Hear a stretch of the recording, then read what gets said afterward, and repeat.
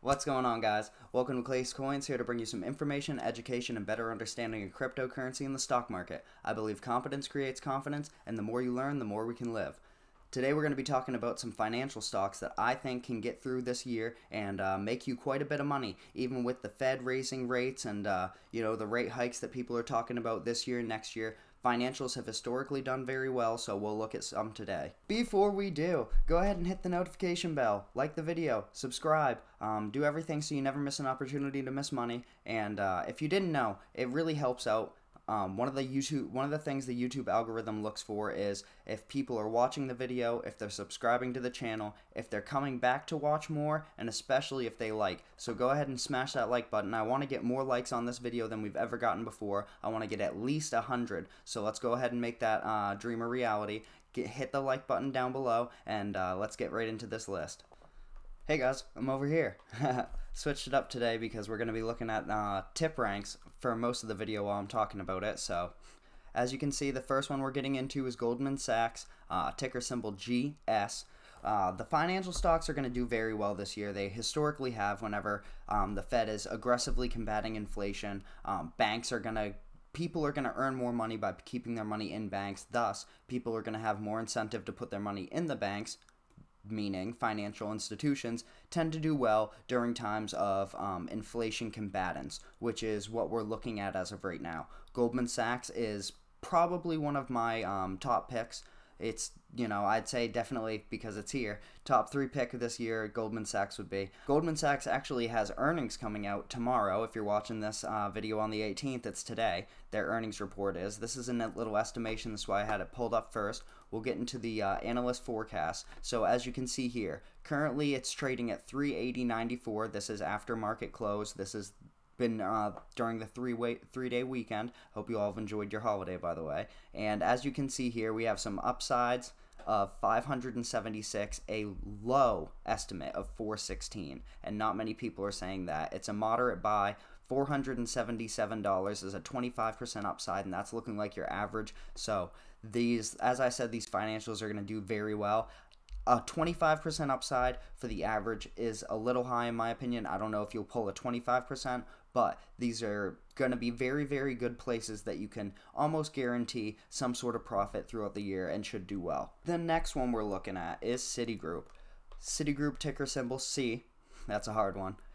Currently trading at 66.93 and uh, you know this one is more affordable. It didn't do as well in the year of 2021 as some of the, some of the other ones. Uh, that's why it's at, sitting at the price it is right now. But you know, especially if buying and owning a full share of something is something attractive to, to you, if that's something you look for. Um, if you didn't know, I'm sure you do. But if you didn't, you can buy fractional shares on many different brokerages: uh, Robinhood, Webull, Moomoo, uh, Fidelity, Public almost any of them you can buy fractional shares on. Most companies some companies they don't allow you to some brokerages don't but most do and uh, you can enable the option sometimes to do it. So just because something is $400 doesn't mean you have to pay 400 for the share of it. You could pay 100 at a time and own a quarter share. You could pay $20 at a time and own a 20th of it you know? It, there's the they're very flexible with how they're able to get your money, as you would probably guess. So Citigroup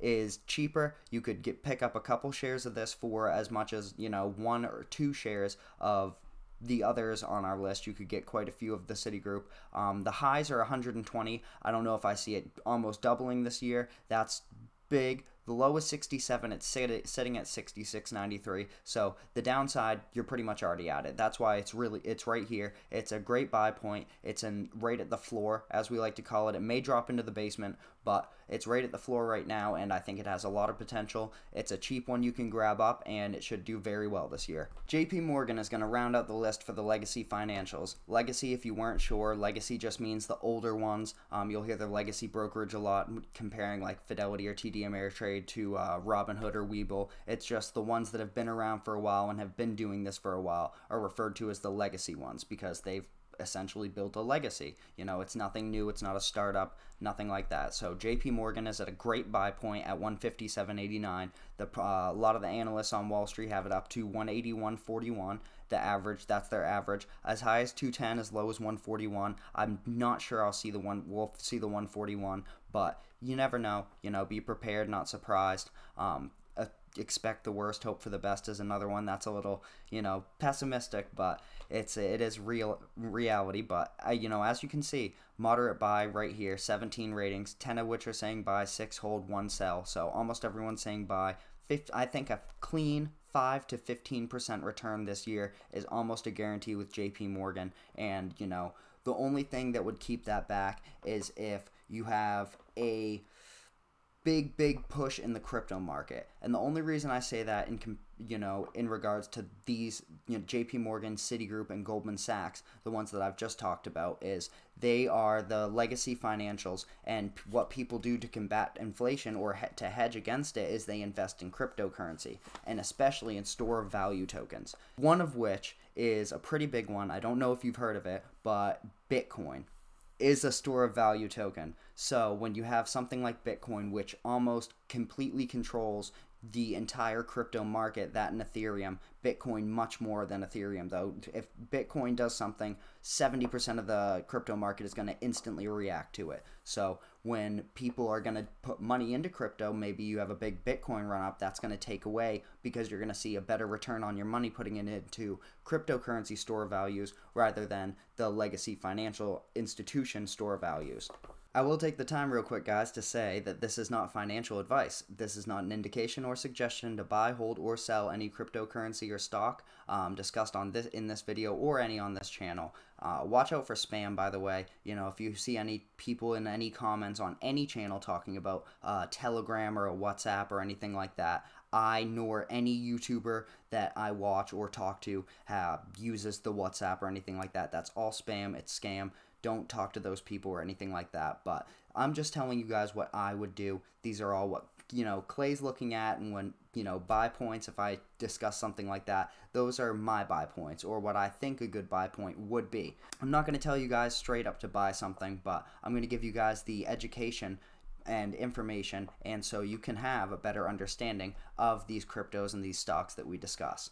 All right, now we're taking a little bit of a segue, but still staying on track. So I'm going to be showing you guys some nuanced uh, fintech plays, which is, you know, all that is is financial tech. So you can these two are great examples of it. PayPal being the first one, ticker symbol PYPL. And so you can have your tech companies in your stock portfolio, you can have your financials, you can have your fintech, and you can kind of have this hybrid foundation, if you will, in your portfolio that is a perfect combination of preservation for diversification, but also the consolidation for growth because you're, you know, you're combining and kind of you don't have to pick and choose one sector when you kind of have these hybrid ones, which can do very well as tech companies, but also can do very well as financials.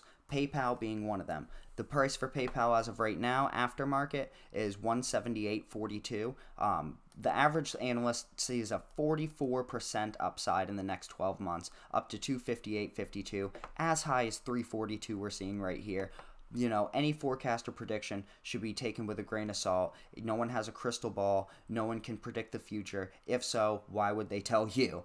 they would take all the money for themselves, you know what I mean? So, don't, if anyone is telling you they're uh, gonna make you a bunch of money. They're trying to sell you something because they'd be making themselves that money instead. So PayPal make, makes this list or you know makes this video especially because they've been around for a long time. I've I've seen PayPal for a decade or more at this point. I've had a PayPal account, and uh, you know it's a, done an excellent job at doing a couple things. It's stayed relevant while keeping up with the times and innovating for the future.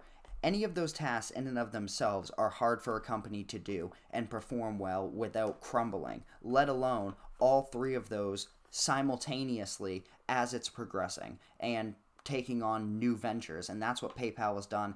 Done it very well. A lot of people, including myself, do believe companies like this are the future of banking, the future of finance. And once we move forward, you know, more and more into the future and with technolo- technology advancing in a way that is absolutely unprecedented over the last couple decades, um, you won't have the legacy financials anymore. This will be your financials. And once we move to that era, you're going to wish you had kept your eye on the fintech plays like this one and the next one. Last one on our list and the second fintech play we're going to be looking at is Block, formerly known as Square, ticker symbol SQ. Block is one of Jack Dorsey's companies. Um, Jack Dorsey being the former CEO and the founder of Twitter. Uh, Block owns Cash App, which is a wildly popular cash send- cash sending application, which has been doing more and more. Um, you know, similar to PayPal as we just discussed, and Block, Square, these companies are just constantly looking ahead. They're never complacent. They're never sitting and looking on what they want to sell right now. They're constantly looking and planning for 5, 10, 15, 20 years out. It's crazy and it's really cool to see these things happen. But Cash App is now selling crypto. They sell stocks, different things like that, which is exactly what Jack Dorsey, if you didn't know, has a huge interest in Bitcoin. He has a huge interest in cryptocurrency. That's why he changed the name from Square to Block. A lot of people are rumoring. I'm not sure if he's confirmed that, but it makes perfect sense when you think about it. Um, block being the blockchain that cryptocurrency is, that's a huge term in the crypto world and he is a diehard Bitcoin fan. I'll actually pull up an article here about him starting something to do with Bitcoin soon. But Square, if you didn't know, is the really cool device that allows you to pay with your credit or debit card, and you can scan it or swipe it or insert it on uh, pretty much iPads and other tablets like that at mom and pop shops. Well, that device in itself is Square. So Block owns that. They own Cash App and Cash App, if you don't know what that is, it's just like Venmo if you've heard of it. So it, you know, it's a lending application. It's everything to do with these financials in a huge sector, but moving towards a uh, future in the metaverse, a future in on the blockchain, a future with cryptocurrency widely accepted, which is really brilliant to see. $133.29 is the current trading price, with the average being $265.43. Yeah, I was gonna say it. I was just saving the best for last. 99% upside, and that is on the average. If you're looking towards the high estimates, we're talking about 360. On the low, we're looking at 190. This is so undervalued right now. This is what you would look at as a price, you know, right up front, just one dimensionally. This is a undervalued stock in everyone's estimates. The average it should be trading at right now, or in the next 12 months, is 265.43. People are saying it could be get down at, uh, as low as 190. Moderate buy. I mean, we are looking at a absolute banger of a stock. When your lowest projection is a huge percentile up upside and the average keeping in mind you know there are bears that are analyzing this too your average is an almost 100% increase. This is definitely something to look at, and it's going to be continue to be in the future, as I'll show you here. Jack Dorsey's Block commits to build an open Bitcoin mining ecosystem. Block, the payments focused company formerly known as Square, is officially throwing its hat into the Bitcoin mining game. So this is just goes to prove my point even more that um, you know cryptocurrency not even my point We'll get rid of that. Cryptocurrency is going absolutely nowhere. Neither is the blockchain. Neither is any Bitcoin, Ethereum.